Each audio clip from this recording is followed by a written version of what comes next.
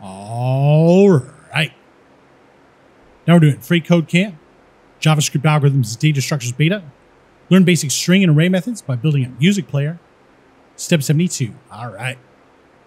So when the shuffle button is pressed, we want to set the current song to nothing and the song current time to zero. So we're going to set userdata.current song to null and userdata.song current time to zero, believe it or not. All right. So note we should not use optional chaining for this step because we are explicitly setting the current song and song current time properties to be null and zero respectively, right? So because we're no matter what, we're going to set these to null and zero respectively. Uh, we're going to be using uh, just the dot instead of uh, optional chaining. So for this one, real easy, we'll say user data dot current song now equals null. Little uh, semicolon, then we'll do user data dot song current time now equals zero semicolon. All right, so let's check the code.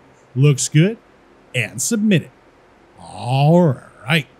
Now we're on to step 73, and we'll see you next time.